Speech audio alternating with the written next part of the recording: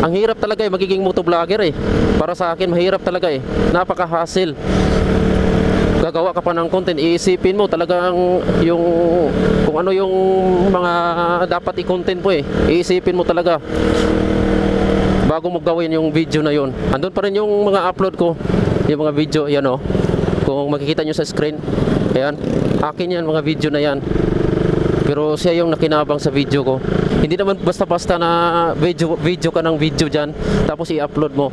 Kailangan talaga, ah, may laman talaga yung video mo bago mo i-upload sa YouTube channel mo or sa Facebook page. Basta para sa akin, tuwing mag-upload ako sa Facebook or sa YouTube channel, ayaw kong mag-upload ng walang nang walang kwenta-kwenta na video nang walang laman. Gusto ko talaga na mayroon akong yung yun pa talaga yung may matutunan talaga yung mga viewers.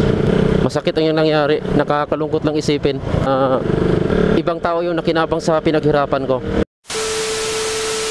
So mga kaberks, welcome po sa panibago nito na video At sa video na ito is sa isishare ko lang sa inyo mga kaberks Nung dati kong YouTube channel na nahack So ito siya mga kaberks, yung YouTube channel ko. Yan, yung nasa screen. Yan ang dati kong YouTube channel na nahack talaga siya. Ah, Bago nangyari yun mga kaberks Alam naman natin sa ah, YouTube ah, Kailangan talaga ma-reach natin yung ah, 4,000 watts hour. Na-reach ko yung 4,000 watts hour. And then 1k subscribers. Kaya nag-apply ako ng monetization sa Google AdSense. Yun naman talaga di ba?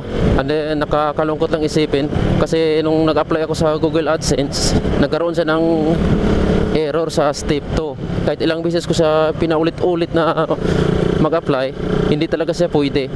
Kahit gumawa ako ng ibang email ad and then mayroon akong kaibigan na sabi niya marunong daw siyang mag-ayos ng YouTube channel na nagkaroon ng ga- mga ganyan na step 2 error so binigay ko sa kanya yung YouTube channel ko and then ako tiwala naman ako sa kanya na sobrang tiwala talaga ako sa kanya kasi binigay ko talaga yung email ad ko at saka password yun ang talagang pi- ah, katangahan ko eh. Sinisisi ko talaga yung sarili ko. Tapos, nung ilang linggo na nakaraan, uh, nag-message siya sa akin na sabi niya, hindi na daw pwede yung channel ko, yung, yung YouTube channel ko. Sabi niya.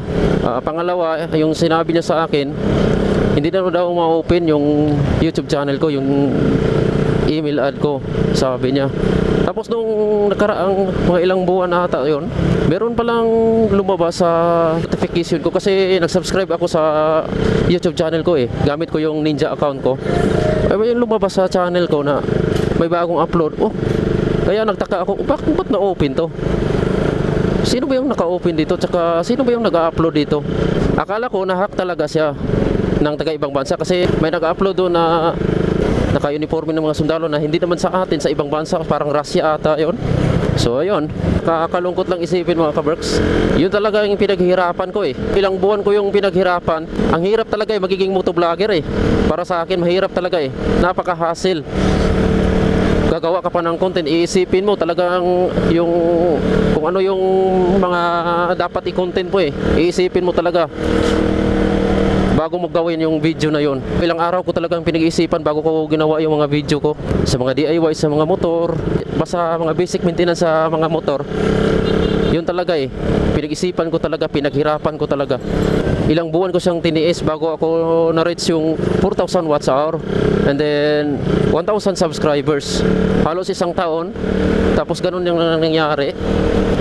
Gusto ko sana i-recover yun pero hindi na sa, parang hindi na ata yun eh.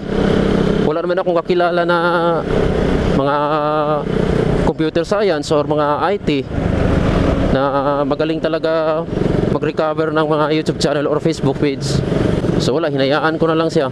Ayun, ni-report ko siya sa YouTube pero wala namang nangyari. Andun pa rin yung mga upload ko, yung mga video, yan o. Kung makikita nyo sa screen, ayan, akin yan, mga video na yan. Pero siya yung nakinabang sa video ko. Magalit mo na ako pero wala talagang mangyari dyan. Hinayaan ko na lang siya. Ang hirap talaga magiging motovlogger. Uulitin ko sa inyo mga kabers, mahirap talaga eh. Hindi naman basta-basta na video, video ka ng video dyan, tapos i-upload mo.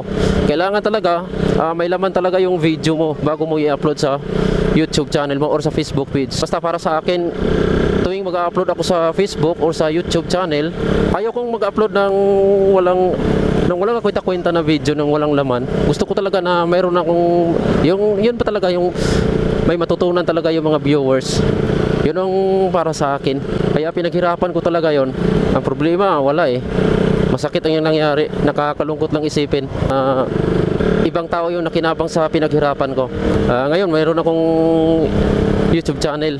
Pero parang nawala na ako ng gana. Mag- mag-upload naman ako, pero wala. Hindi tulad dati na agresibo talaga akong mag-upload or nagbablog. Tuwing linggo talaga ako nagbablog. Sa isang linggo, ah, meron talaga akong binablog.